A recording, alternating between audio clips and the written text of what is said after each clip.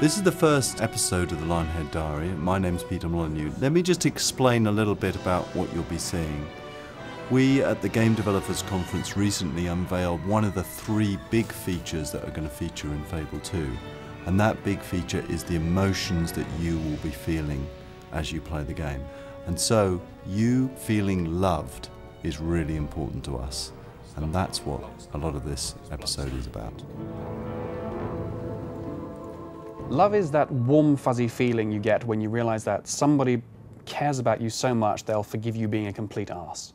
Love is very important to me, uh, sort of in my life. I kind of very much uh, like to consider myself a romantic. Love means many things to me. It's family love, uh, erotic love. What people often do is, conf is confuse lust with love. Love for pizza, love for coffee. God, I love coffee.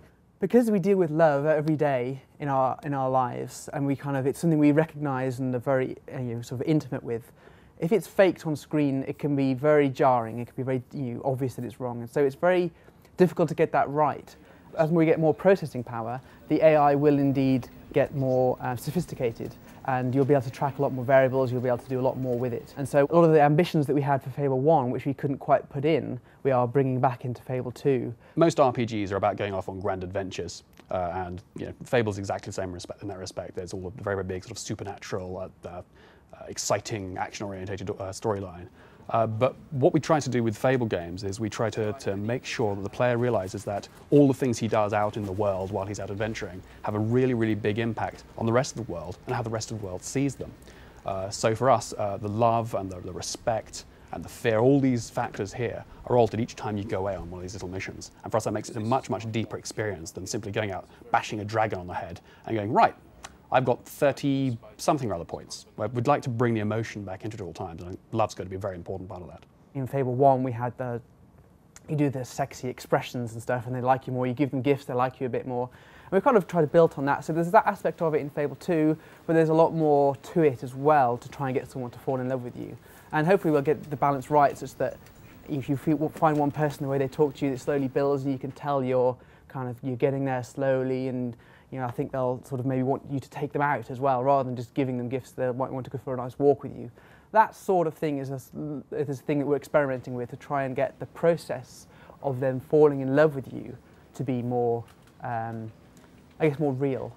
What I said at GDC was um, I was talking about emotions again, and I was focusing on love, and I was definitely focusing on being loved. And I focused on the dog because I wanted to show the quality that we were putting into the dog in the game. Gamers, casual gamers, everybody who sees that dog, they will say, that's a dog. I understand him. I understand when he's excited, I understand when he's sad, I understand when he's, uh, when he's happy, I understand when he's hurt. He looks like a real dog.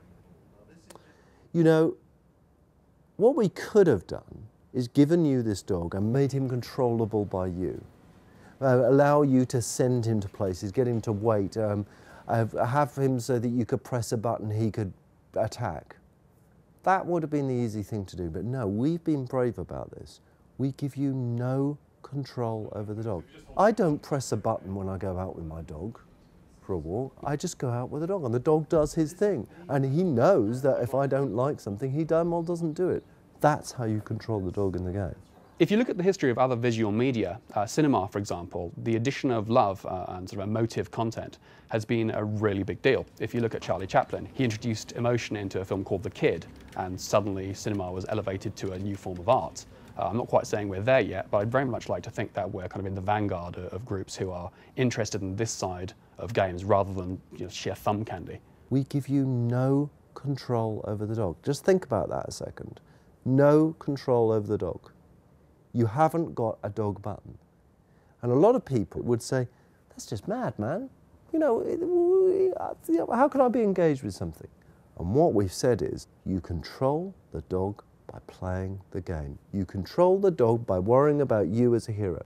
I think the very fact you don't control him makes him feel real, makes him feel like something that has a mind and that has an agenda. And that agenda, first and foremost in that agenda, is his love for you, his willingness to sacrifice himself for you, his need to please uh, you in everything that he does.